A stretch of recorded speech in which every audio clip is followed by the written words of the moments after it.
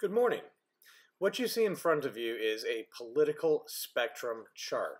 You may be asking yourself, what is this political spectrum chart and how do I go about using it? And the answer to that is really pretty simple once you understand how politics work and where people fall on them. Uh, many of you have been taking your tests to, in order to go ahead and determine your scores, and you may not know what those scores mean, but those scores are going to fall somewhere on this political spectrum. So let's talk a little bit about what is political ideology, how does that fit into the overall cult, political culture that we have, and where does that fit you on this political spectrum? A political ideology is a set of beliefs, ideals, and principles about politics and how society should function. So take some of your big ideas, uh, uh, your key uh, points that people go ahead and argue about. Let's take gun control. Does government have a right to step in and regulate gun control versus uh, individual corporations and businesses doing that themselves?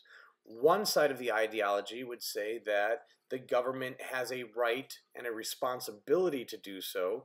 The other side of the ideology would say that in doing so, the government is overstepping its bounds.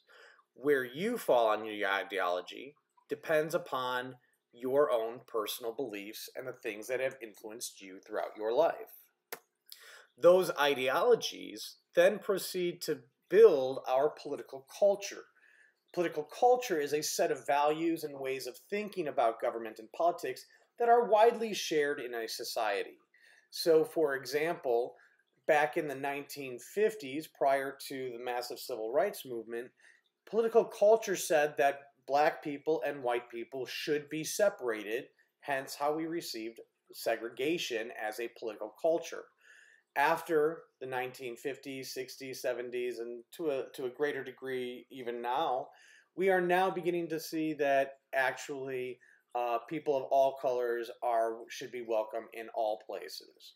That would be a change in our political culture and a political culture, a set of values that we now believe in today. So every person then can receive a political spectrum score, if it will, which is really just a system of classifying different political positions. So this is kind of like a, a range of where people fall in order to kind of determine how people think in similar or in different ways. So let's take a look at these different places on the spectrum. The first one we're going to look at is called a liberal, which is in the light blue box. This is a person who believes in group responsibility, government regulation, and is open to government aid to solve the problems in the country.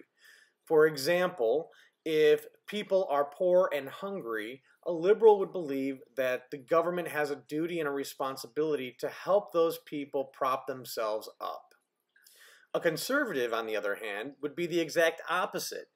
They believe in personal responsibility, they want limited government, free markets, and typically follow traditional American values.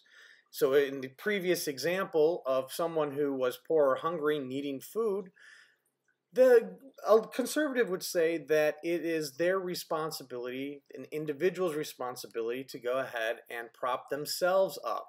And that if the government goes ahead and takes care of their problems, there would be no incentive for that person to do so. Important to note that very few people believe fully in liberal viewpoints or fully in conservative viewpoints even people who are liberal or conservative still have some issues that they tend to follow on the other side or not believe in completely.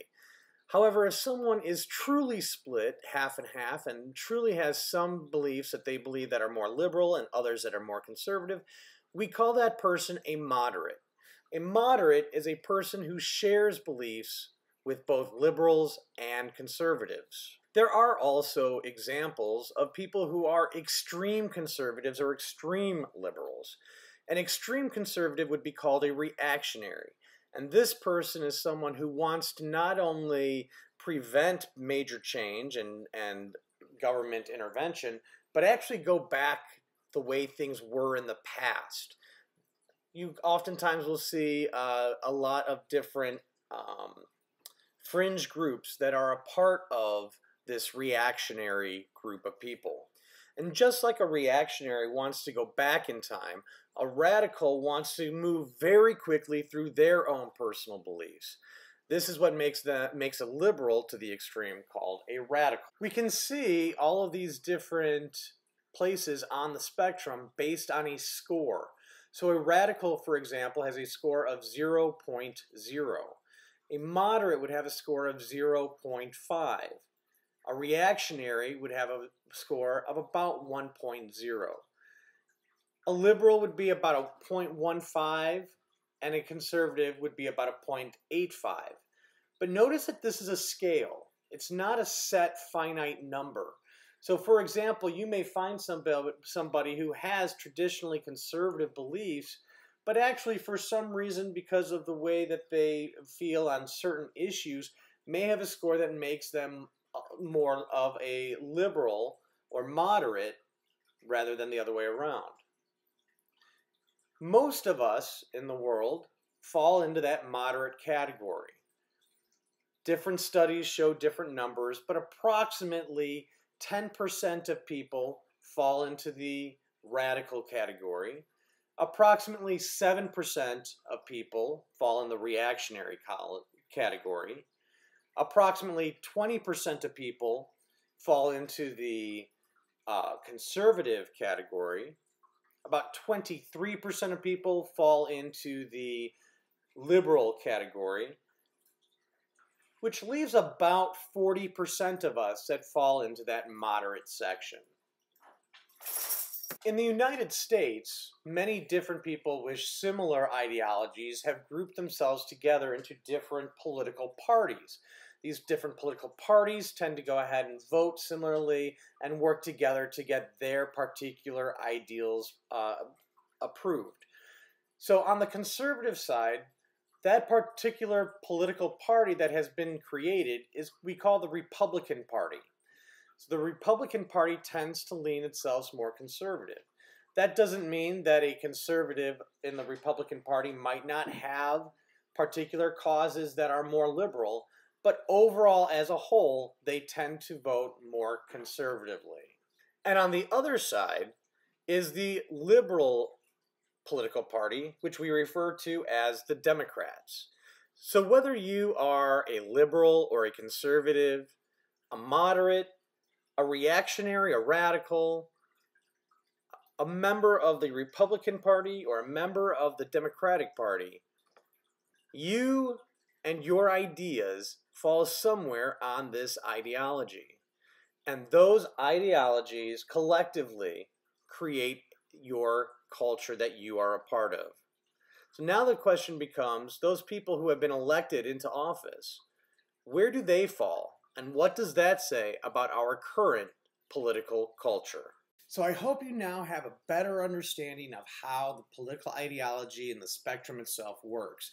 We see a lot of times that this goes ahead and creates animosity and friction between these different political parties, and it's really because people have different philosophy and ideas about what government is and what it should be for other people. So the question really is now, what do you think government should be?